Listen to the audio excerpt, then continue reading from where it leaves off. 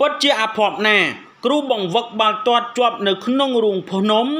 ខាងឃ្លួងផ្អើលអស់នៅប្រទេសថៃកាលពី6ឆ្នាំមុនឥឡូវនេះជាប់កាំងសាច់ជាថ្មីដោយចំនួនទឹកភ្លៀងបងប្អូនជាទីគោរពរាប់អានចំនួនទឹកភ្លៀងរយៈពេលតែប៉ុន្មាននាទីតែប៉ុណ្ណោះបានវាយបបក នៅក្នុងខេត្តមួយចំនួនរបស់ប្រទេសថៃ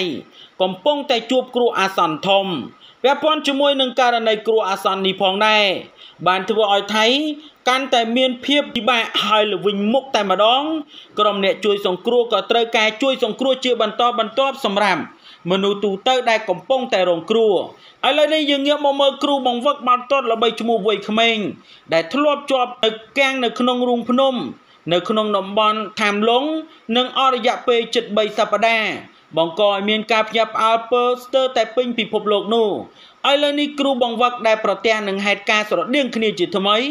ដោយរូបលោកបានជាប់គាំងនៅលើដំបូលផ្ទះ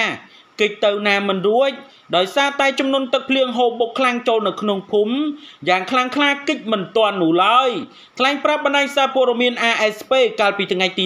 11ខែកញ្ញាឆ្នាំ2024កន្លងទៅនេះគឺលោកអ៊ីកាប៊ូលចាវុនលោករូបលោកបានរៀបរាប់ថា លោកបានជួបបទពិសោធន៍ដូចគ្នាទៅនឹងហេតុការណ៍ជាមួយនឹងក្រុមក្មេងដែលហៅថា World Bro យ៉ាងណាមិញជាប់នៅក្នុងរូងភ្នំកាលពីឆ្នាំ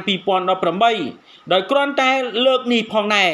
លោកជាប់កាំងលើដំបូលផ្ទះខ្លួនឯងនៅក្នុងស្រុកមីសៃនៅភូមិខាងជើងនៃប្រទេសថៃ នៅក្នុងរយៈពេលប៉ុន្មានថ្ងៃនេះអត្តពលព្យុះសង្គ្រាយ៉ាជីកំពុងតែបង្កគ្រោះទឹកជំនន់និងរអិលបាក់ដីយ៉ាងអាក្រក់បំផុតនៅភូមិខាងជើងរបស់ប្រទេសថៃវៀតណាមឡាវនិងមីយ៉ាន់ម៉ា ថ្លែងប្រាប់បណ្ដាញសារព័ត៌មាន ASP